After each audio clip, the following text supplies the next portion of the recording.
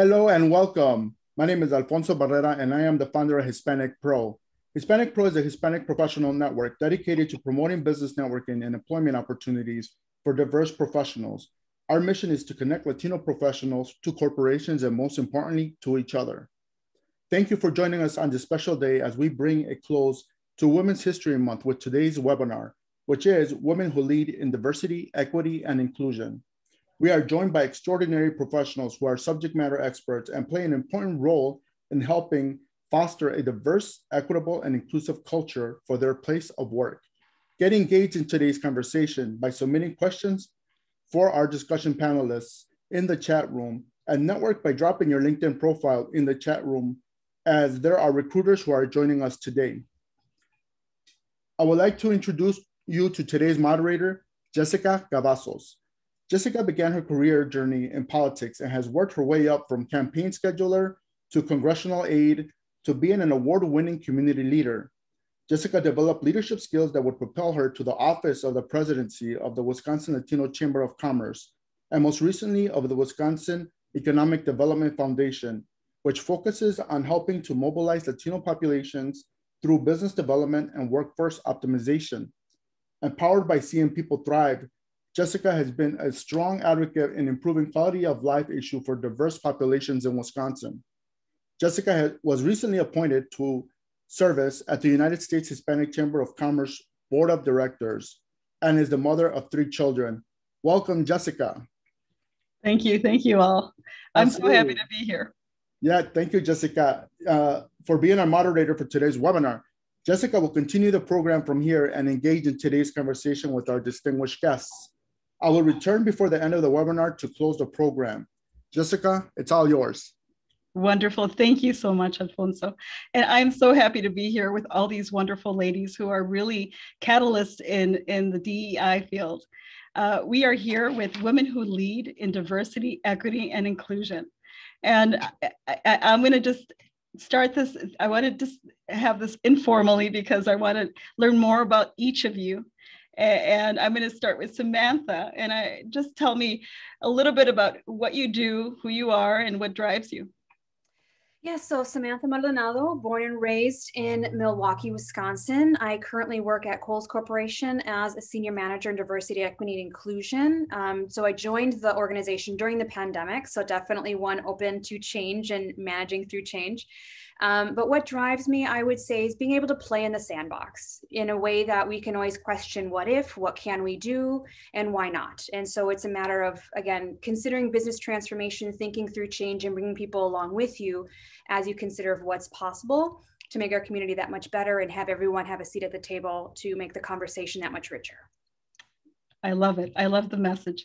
Carla, on to you next. Tell, tell us what drives you and give us a little bit about who you are. Thank you. Yes. Um, first, I want to thank Alfonso and, of course, Jessica for having us here in Hispanic Pro. Um, I work in marketing and communications at NRG Energy. It's a Fortune 500 company that generates electricity, provides energy solutions and natural gas through our diverse retail portfolio of retail brands.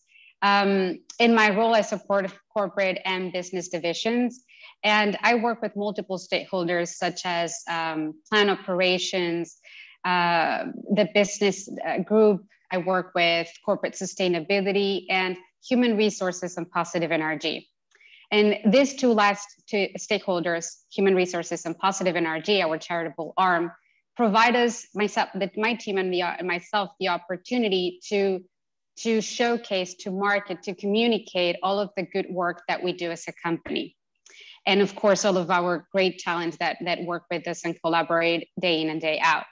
And so that leads me into some of the things that I enjoy the most and what moves me. And it's working with so many groups, so many talented people that are united by a single purpose. And, and that to me, and being able to see the impact, being able to communicate it, that is what drives me the most. And I know we have a vast uh, array of, of locations. Where are you located? I am physically located in Houston, Texas. Houston, but we, we, with the company, we have a, a national footprint and in Canada as well. Right, so international footprint. And on to, to Cecilia Velasco, who is not in the country right now, and she can tell us a little bit more about her. She gave us the the the uh, international platform.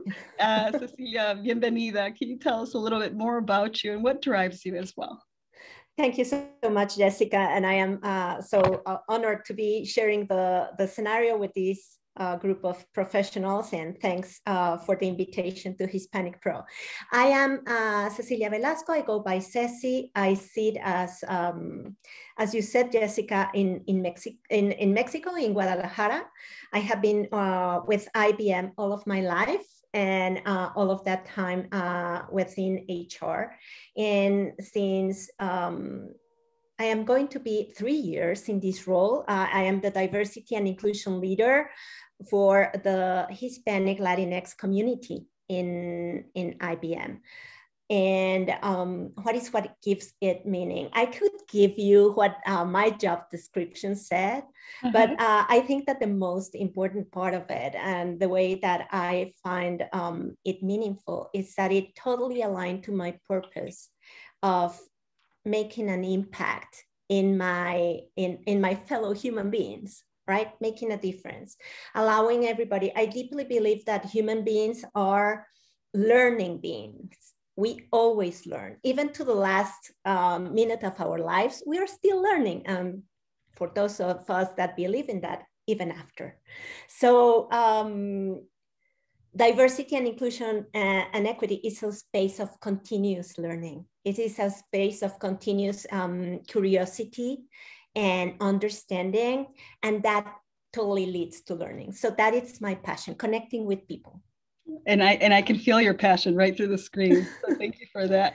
I speak now with we, my hands so i will be careful not to hit my computer you know, I, I'm, I'm, I think we're all the same, right? But uh, up next, I do have Sandra uh, Magallon, and, and Sandra, it, it's so wonderful to have you here and, and, and, and see you now and hear you personally because I've heard about you in the past and, and all the great things in your work that you're doing. Can you tell us a little bit more and tell the public exactly uh, who you are and what drives you? Absolutely. Thank you. And so First of all, thank you, ladies, for providing such great insight as to the work that you're doing. And I feel honored to be um, among such not just beauty, but talent and intelligence. So it's great to be part of this wonderful event. Um, my name's Sandra Magallon. Um, I recently accepted the role of the, I had the West Division of the Minority Entrepreneur Program here at JP Morgan Chase. The program is part of the $30 billion commitment that Jamie Dimon has made to really help our minority small businesses. And, and my part of it, I take it very personal because I am part of La Villita here in Chicago, which is a predominantly Latino neighborhood. I did help my parents open their paleteria and through many paletas, um, they were able to put all six of us through school and through university and really be able to like accomplish that American dream that we hear so much of. And most of my career, I've spent it in large corporate middle market and really learned a lot about really um, the financial health of businesses, the financial health of the balance sheet, really understanding like how is it that you structure in order to be able to expand both nationally and internationally. And so when the pandemic hit, everything came to a stop. And it, it was really shocking to myself as well as to many. And so this opportunity for the minority entrepreneur senior consultant role came about. And um, I was excited to interview for it and I took it and I've I, I, started in September, and as of September, I want to say I've already mentored over 700 small businesses, uh, both one on one and through group settings.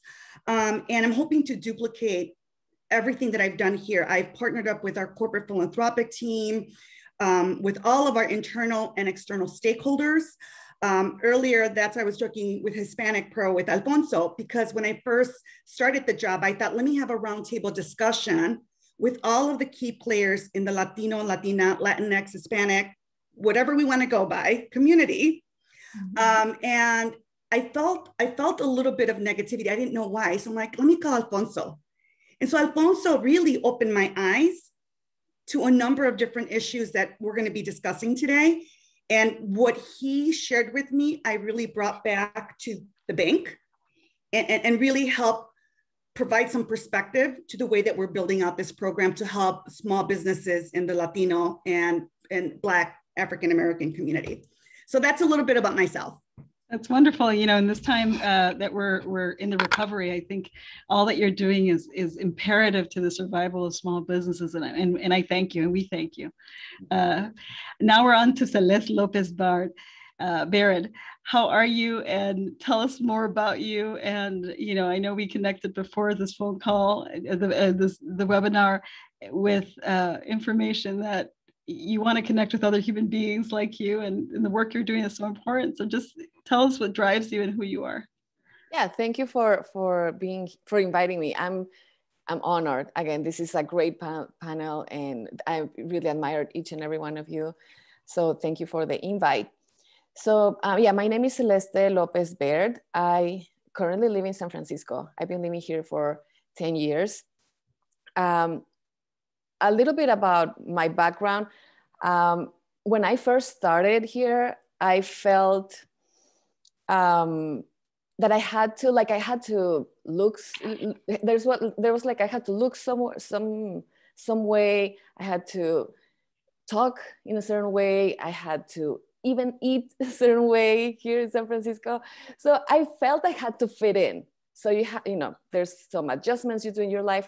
And then I was like, okay, this is not okay uh, I, I, I realize now that I didn't feel I belonged as much as I had to like change and adjust. So when you ask what drives me, it's it's that it's people first of all. People like Cecilia, I think exactly like you. I think I, I love the the idea of connecting people of because we have so many things in common. More things that separate, more more things that are different. We have more that unite us, more commonalities that we maybe are not aware of, or maybe professionally we're like focused just on the ROI of the of the organization.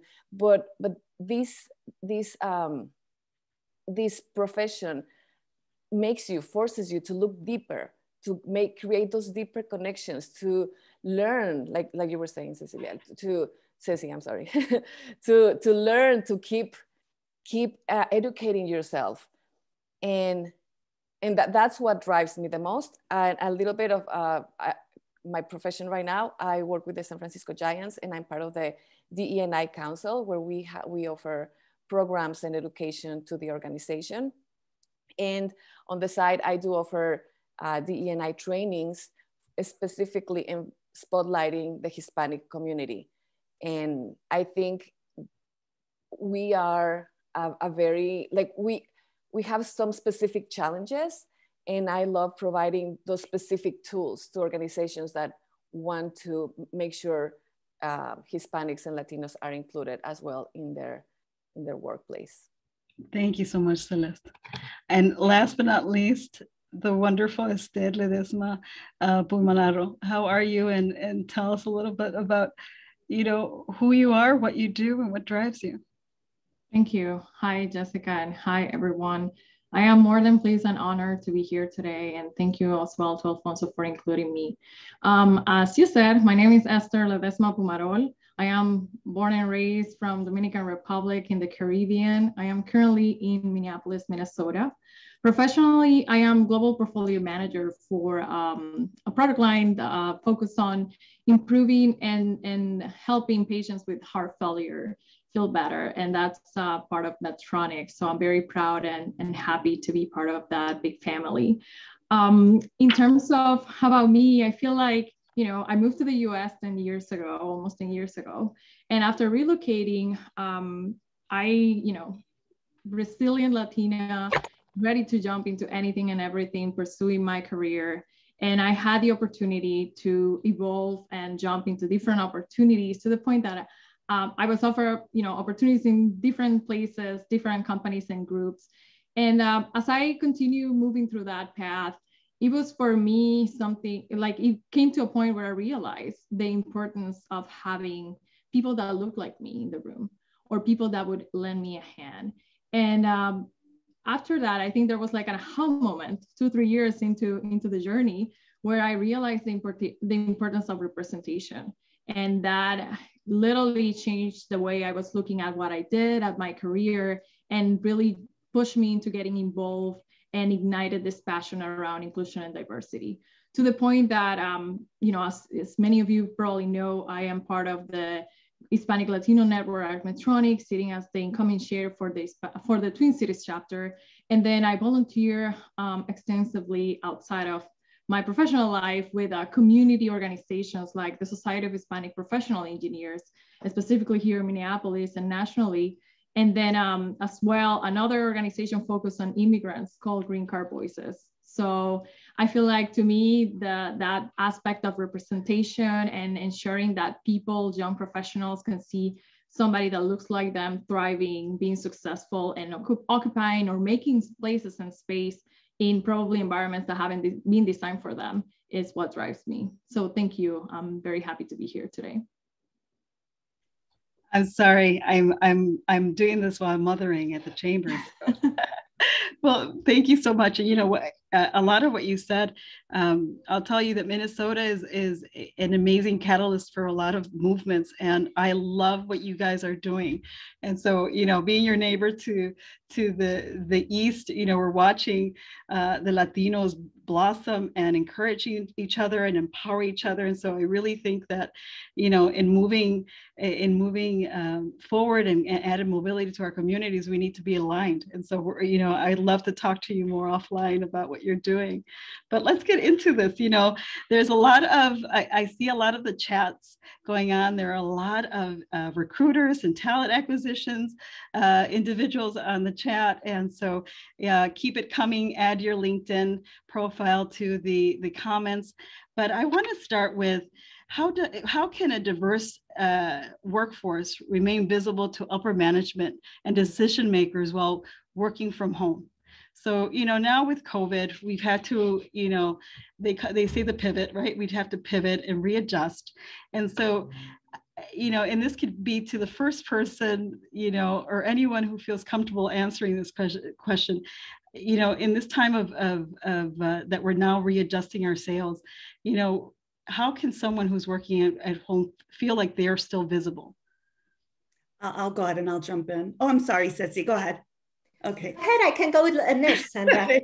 um, well, got it. Well, Jessica, you know, that's a really great question because I think that we've gotten so used to that human interaction. And so not only have we physically had to adjust, it's also been mentally. And so I think that it's truly important to see like how is it that you can create that connectivity without having that Zoom fatigue? Because like my son right now is upstairs doing his own Zoom with his teachers and, and, and he has Zoom dates which is a thing now. And so it, it's it's been very interesting to see how we pivot. But when it comes to our careers, I want to say that this is the time for us to raise our hand and really be bold and reach out to leadership. They want to hear from us.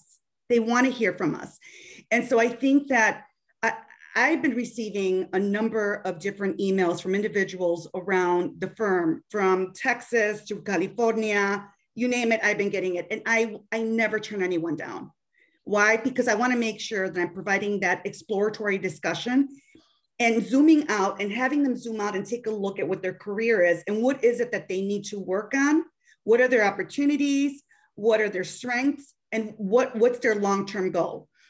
And so I really feel that the individuals within the audience should feel, should give themselves permission to be bold and to raise their hand. And if they're working for an organization that really is going to live through the DEI movement, then people are going to want to meet with them.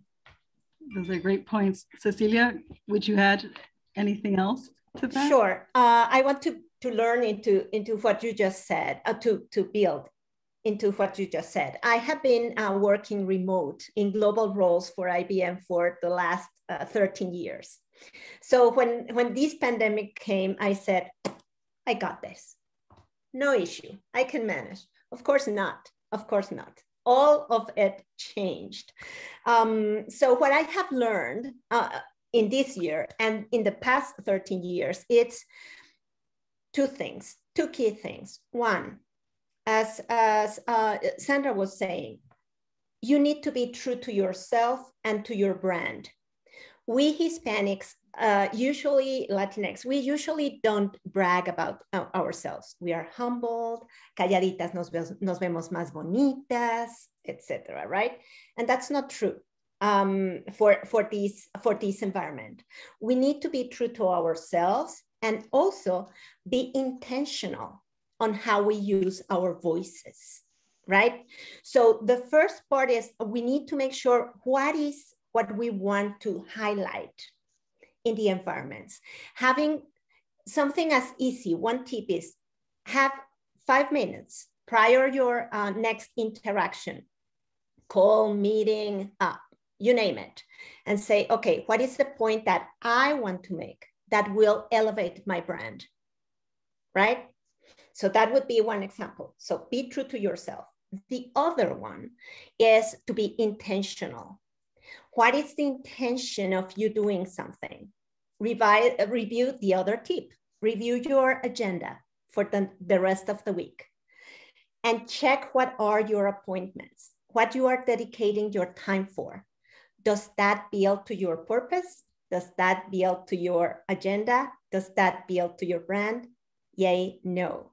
And be selective and make sure that you have a purpose for, for the interactions. Because if not, um, work and people and everything will come as a tsunami for you. and you need to have some, some of that. So intention and be true to your brand.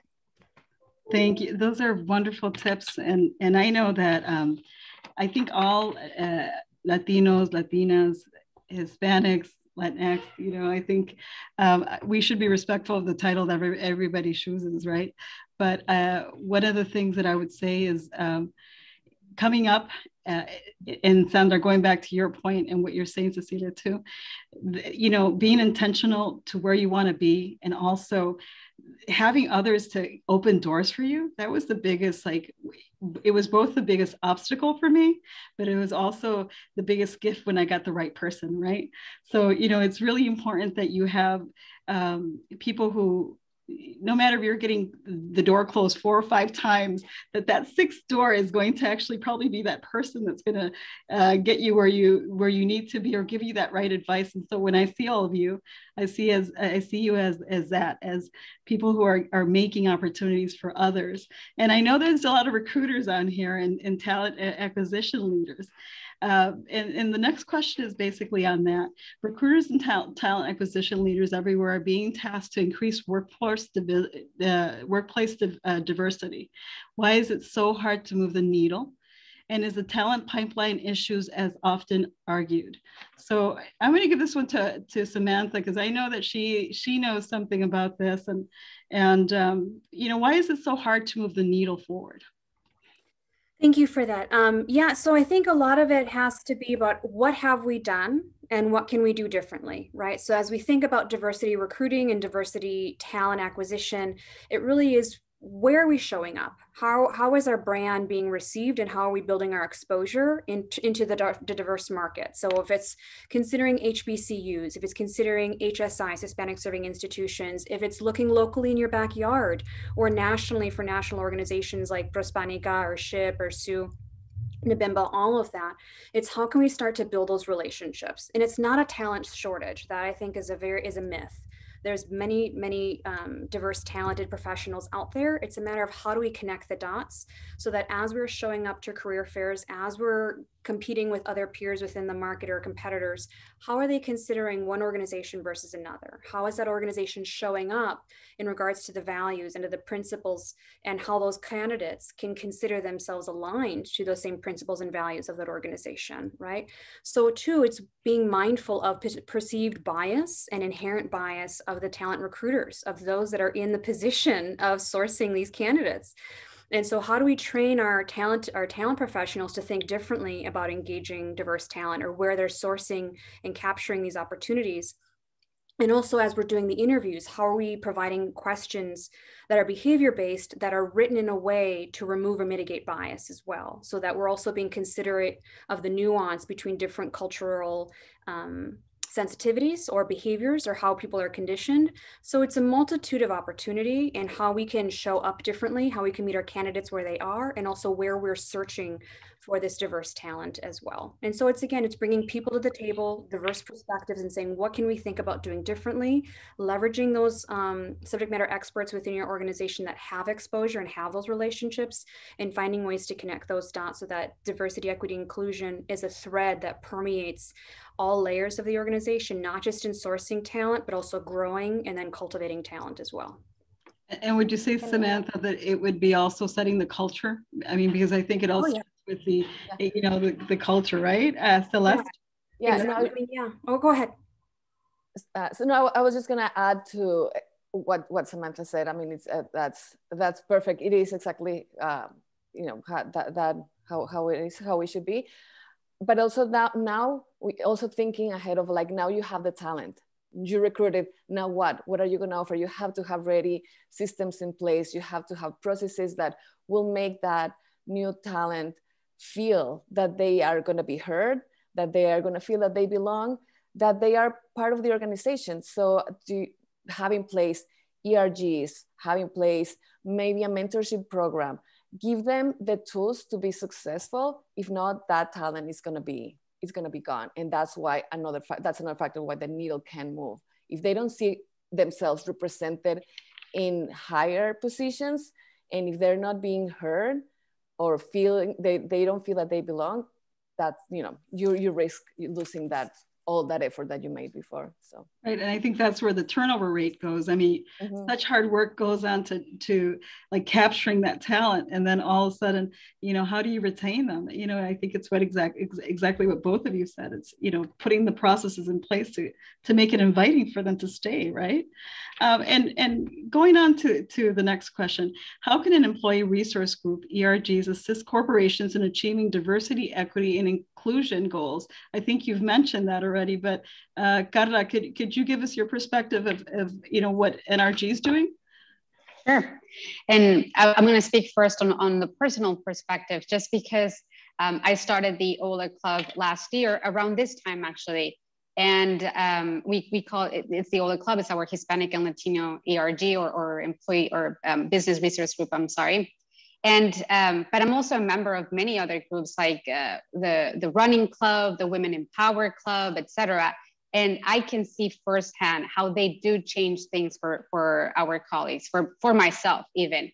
When I was about to launch the club, I remember that I discussed with multiple groups that, you know, what do you think, or individuals that I trusted, what do you think about doing this or that? And I remember hearing different or conflicting advice you know be careful you're going to be seen as a hispanic person or go for it absolutely we need it.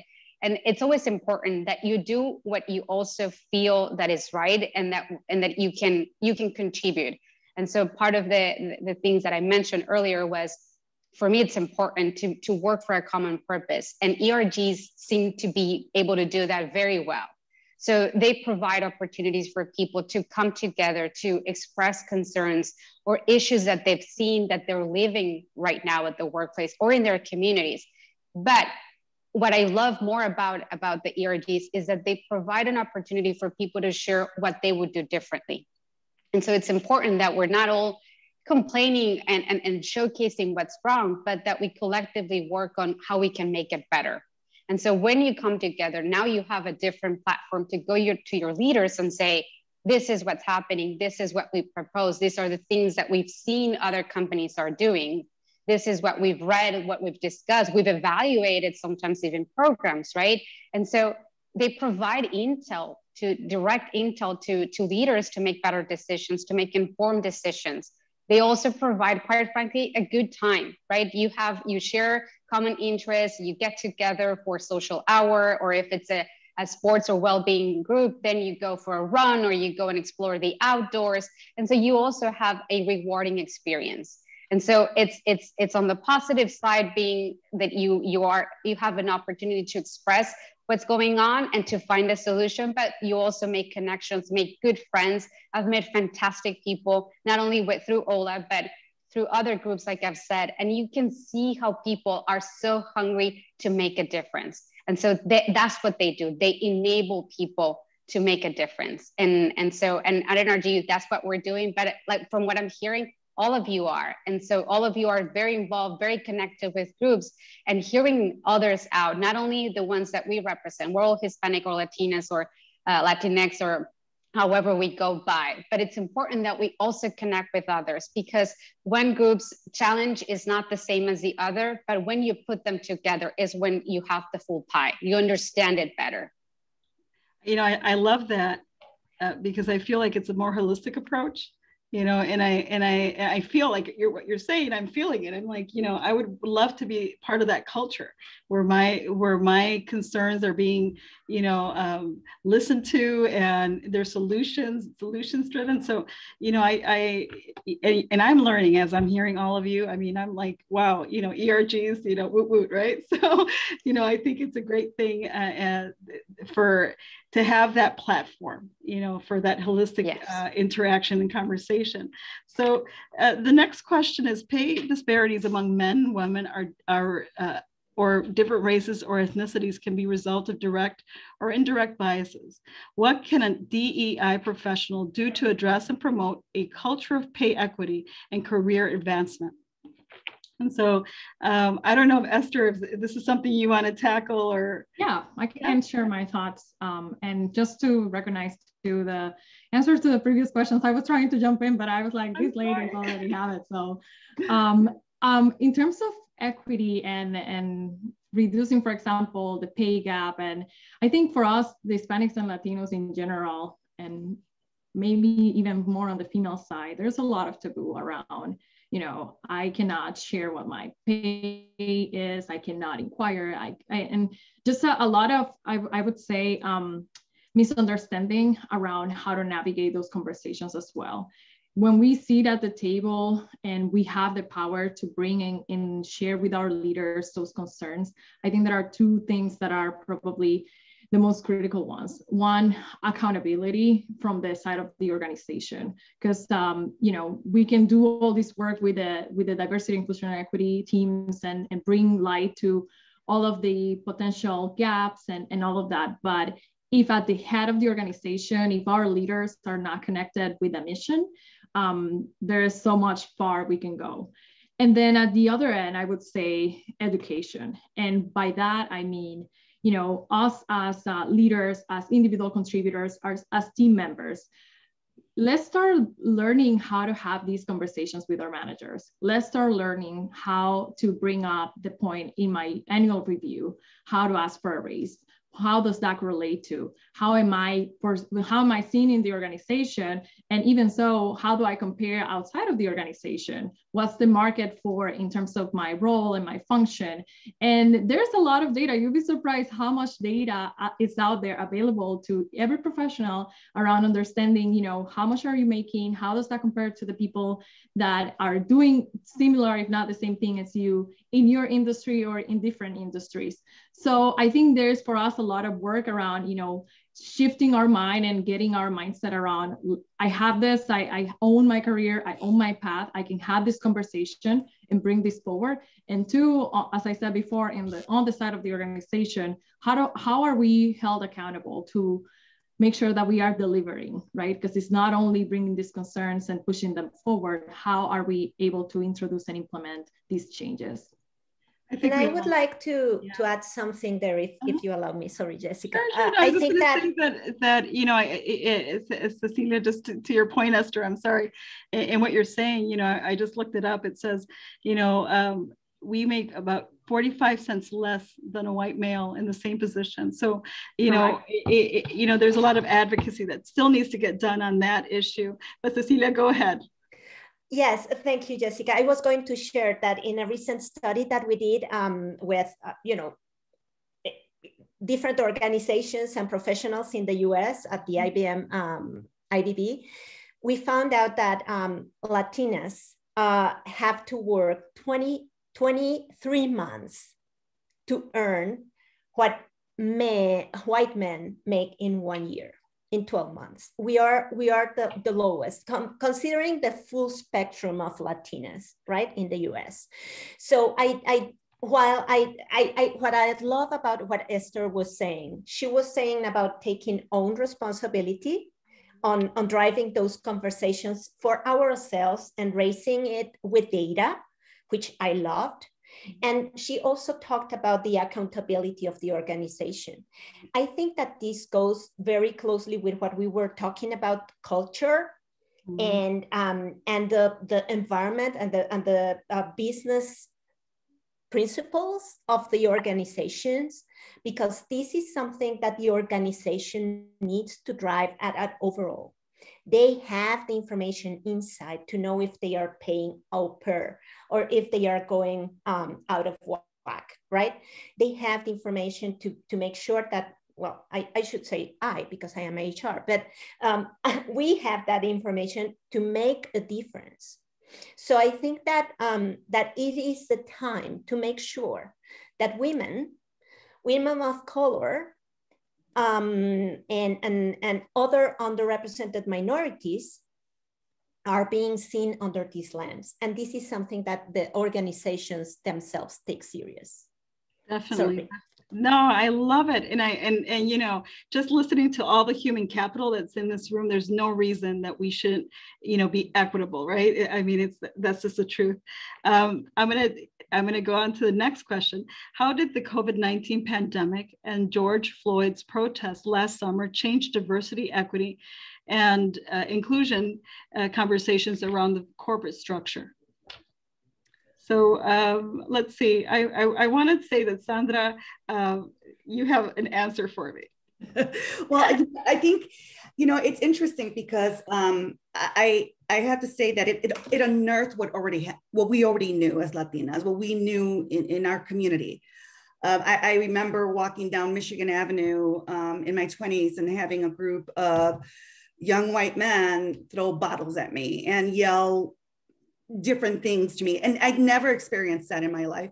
And so I, I felt like what, what just happened to me. So for me, it, that experience made me kind of like really zoom out just to try and figure out why they were attacking me. And so, and it was verbal and hateful. And as we're seeing everything that's going on in the community, in the Asian community, it's things that our communities have already been able to experience or we've experienced it, but it was never at the point where there was a highlight, where there was video. And certainly we've had video in the past, mm-hmm. but but I but I just think that the extremity of what we witnessed and how horrible it was really unearthed and opened this horrible ugliness in America that for so long abajito de la, abajito de aquí. Let's just let's just sweep it. Let's just sweep it. Nada pasa aquí. And so it was a horrible event that I think led to a catalyst, as you said earlier, Jessica. It was a catalyst that we saw happen in Minnesota that really, I think, shocked the world. Mm-hmm. And the movement, sorry, it just, the movement that we saw of the human and, and, and, and leadership really wanting to have these conversations and, and creating safe spaces where finally we felt like we had a voice. And so I think that uh, in being part of the BRG here at JP Morgan Chase, we've had a lot of discussions where no one's going to be um, reprimanded for it. I had a lot of conversations with my, my allies my allies. So every single individual in my team, there was uh, there were different areas of the country, and some were very uncomfortable. And they're like, "I don't want to talk about this. Why are you making me talk about this?" Right. And I'm like, "Because we have to." So I just think that that that though the BML movement, what happened with George Floyd, what COVID has uncovered as far as the inequity within our own social platform, are things that have been open and has reared its ugly face when for so long we just didn't want to talk about it. And now we now we can. Right. There, sorry i need to get all choked up. No and it, and it's i think we all get choked up choked up. I know that. I'll tell you that our chamber put like a letter out right away about anti-hate and not you know, and, and how we have to align, like, you know, we have to protect all our populations from, uh, you know, from the rhetoric that we've already experienced. Like you said, you experienced, I've experienced it, many people here have experienced it. And, and someone in the chat said, BLM changed the world of DEI. And, you know, that is really impactful because it, like you said, it's, it made the conversation happen because before it was like swept under the carpet, like, you know, this is not going to happen. We, it didn't happen last weekend. And, and, you know it perpetuates like over and over and over. So we need to like this is something that needs to be discussed. It, it impacts everyone. And and as you see the corporate uh, corporations are now investing and they're you know trying to you know change the culture. Celeste can you share your perspective? Yes um, I, I, I absolutely agree. I do believe that um, george floyd on death unfortunately i mean it's just it did mark the before and after for and I can speak and I would like to share uh, with the San Francisco Giants. We had we've had a council, diversity and inclusion council before, but this was the moment where it's like, what are we doing? It made us have like a, a introspect at what are we doing? Who are we? What do we want as, an, as an organization? Um, and we had a, a meeting, a, a company meeting where people were, were able to express how they felt. It was a meeting that had no time limit. Anyone that wanted to speak out did. Leaders speak out. It, it came from a very genuine place. Um, we, we cried, we felt, we didn't know what our, our coworkers were going through. So it was very impactful. And since that moment on, we that our, our initiative has been more um, more intentional with the strat- strategy has you know it's it's much more uh, with a purpose. And we it, I, I, think us as the, as professionals it's we have to make sure this moment this momentum does, is not get lost. We have to because what we don't know what's going to happen in two years three years this this must keep going. Like the sensitivity the the desire for uh, executives and leadership to listen that should continue. We the changes that are made now we have to make sure it they, they is just a foundation for a new it, and it's a new beginning for organization and who we are and we just create now a, a really culture of change. It's going to take time and as we all know here we can expect to see drastic changes in two or three years. But this was a really, really big boost, at least for us. And yeah. You know, I I I believe that all that you all are saying um, really was an, it, was impactful. Not only COVID happened to our country, uh, BLM shook us and you know this is a time for for us to be united right? United with you know it, it's not just like a an asian or a latino issue or a, a african american issue. We need to like say you know what? We stand against hate in its totality. So you know it, it is one of those things. I know i cried you know I, you know it's it's very emotional. It's emotional to have to have that conversation with your children when they're asking you. So you know it's really rocked our, our nation. But i think with the work that you all are doing i think we're moving forward forward. We're, we're pushing, you know, these conversations and, and equity forward. And that's why it's really, you know, really important. And Carmen says hate shall not be tolerated. And that's, that is, you know, truly what we should all work towards. Uh, the following question is due to recent anti-Asian racism and crimes, why is it important for America's workforce to talk about Asian American story too, the Asian American story too? Who would like to tackle that one? I can I can speak to that one. Sure. I think just as we speak about BLM and how we speak about the African American Black experience, this is all part of our United States American history, right? We can't isolate, you know, um, uh, one slice of the story. We need to recognize and give credence and grace to all the contributions and the experiences of all those different immigrants and all the different dimensions of diversity that we have in our country. And it's not just being the the friend in May when we have AAPI month to recognize and celebrate that, we need to be there and recognize their contributions and support throughout the course of the year, not just in the month that it's you know identified and slated for celebration. Same thing with you know African American Black History Month or Hispanic Heritage Month. We need to be that that partner that that organization that is aligned to say, hey, we hear you, we support you, we are against racism and discrimination and retaliation. And so that also too as would be beneficial as an organization when consumers are considering us as a place to shop as a potential employer as a place for investors to come. And so again it's you have to speak to your values. You have to decide what you're showing up for and what you're standing up for and be um, apparent in that messaging both internal to your associates as well as external in regards to that support and that recognition. And again it, it it pays off being more than just saying the words and being performative. You have to put policies in place. You have to hold people accountable, and you need to have those conversations again to what's already been shared about how can we be here for you? How can we look at our policies and become more anti-racist? Because it's pervasive, and we need to think about what's been done and what we can do differently going forward.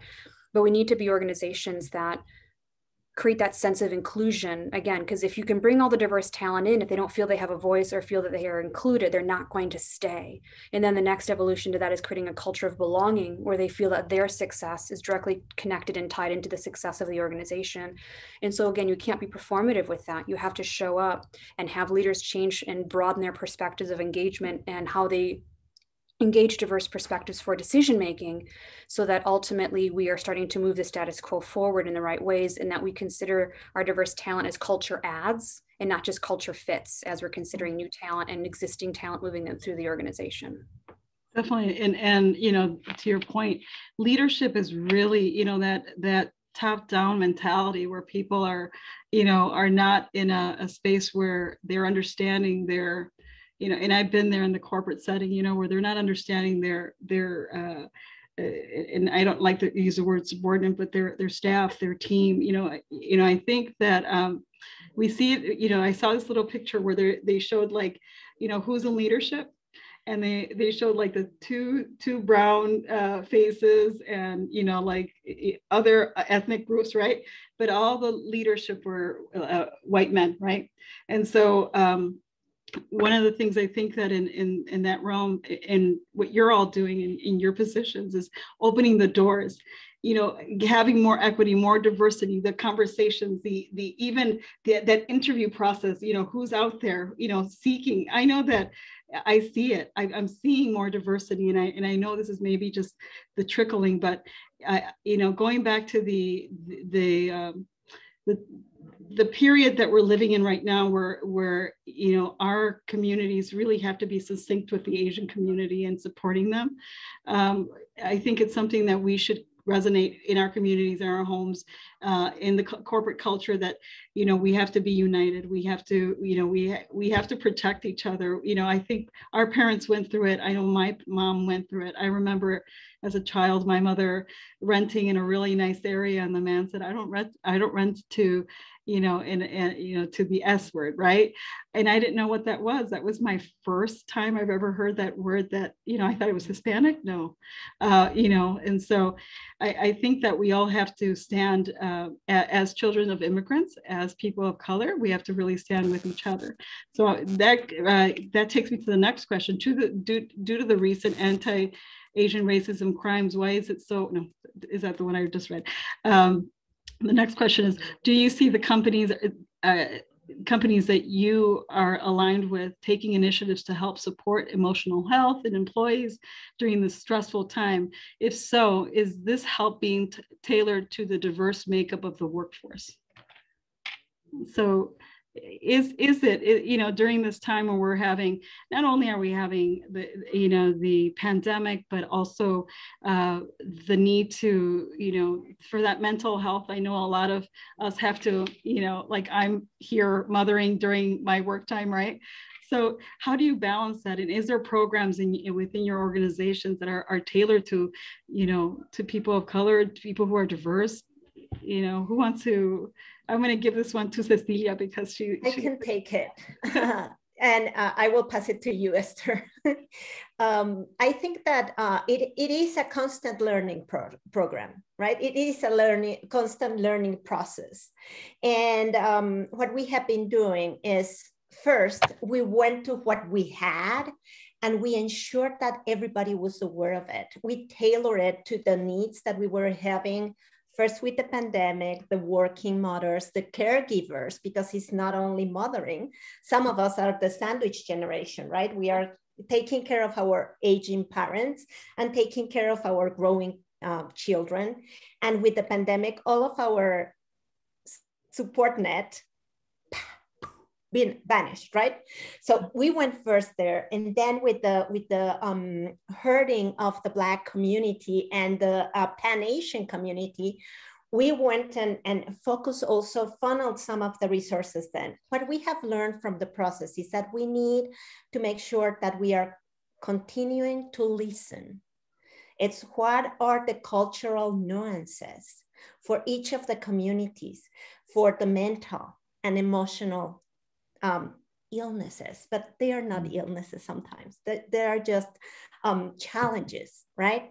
How they um, how they uh, conceptualize that, how they show up for that, and how can we provide help meeting them where where they are right?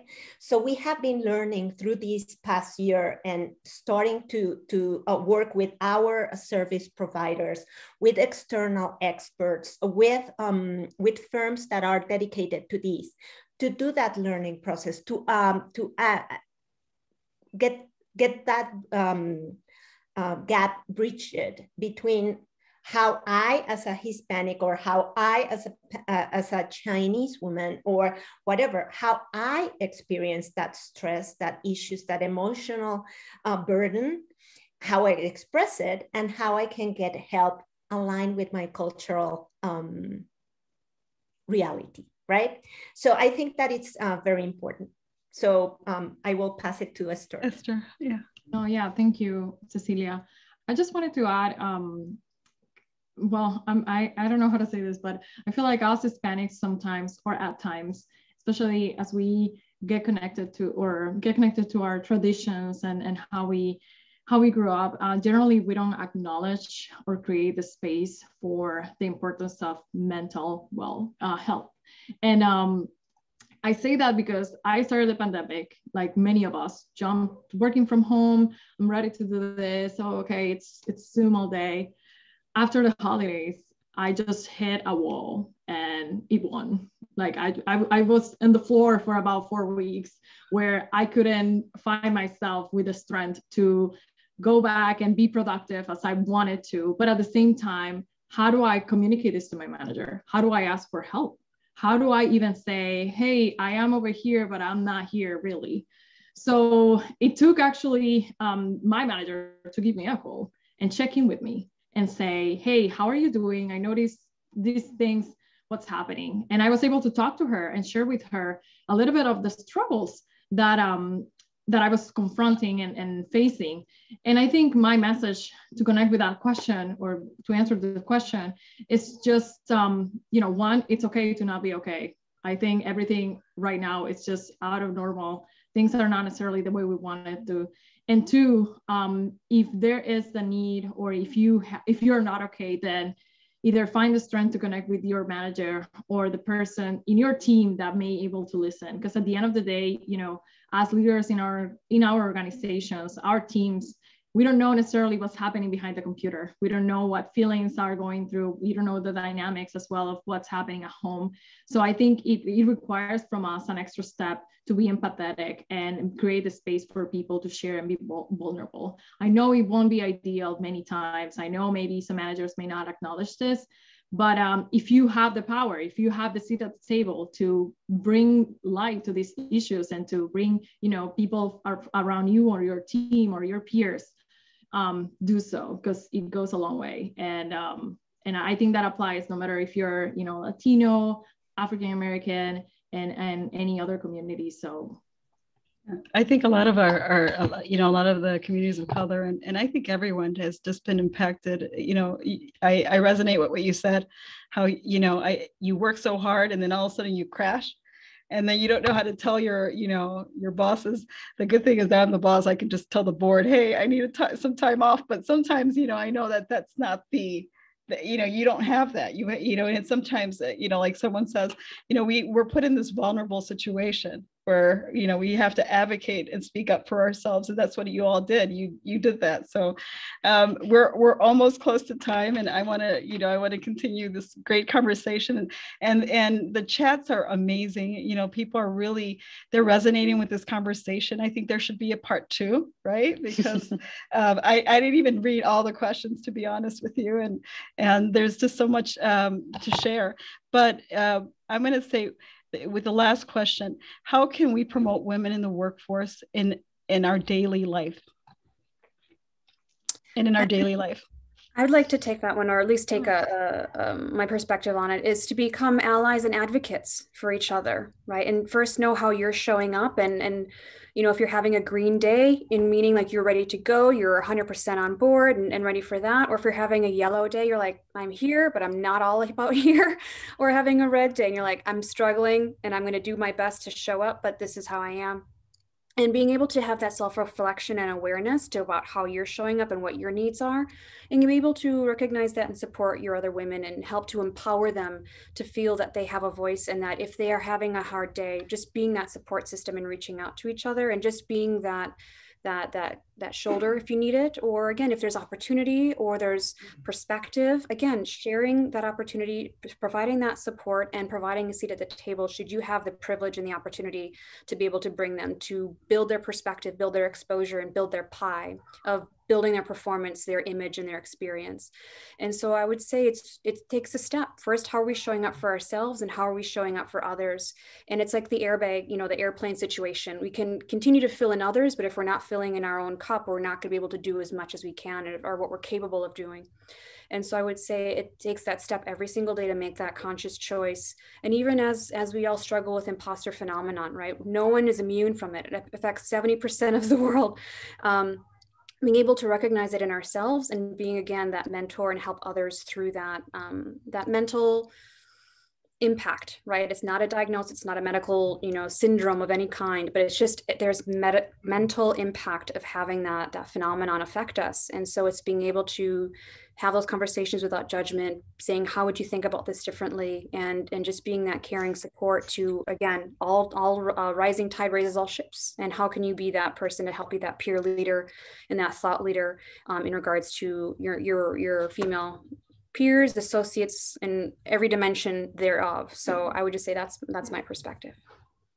And, and thank you. I know that um, Alfonso came for a brief minute, but I want to thank you all as we as we end the uh, the celebration of Women's Month. Right, um, I want to celebrate and and uh, applaud you all for all the work you're doing and for making it possible for uh, not just women to thrive, but everyone to thrive. And I think that's the the um, word equity means all, right? And so um, I want to thank you all for being here and, and making this conversation so impactful. Uh, Alfonso, I'll, I'll give it up to you now. Thank you, Jessica. I want to thank you, ladies, for participating. Thank you, everyone, for, for joining us. I want to say thank you to Sandra and Chase for Business for being a great corporate partner and for being the, the corporate partner for today's conversation. Stay safe and be well. Take care.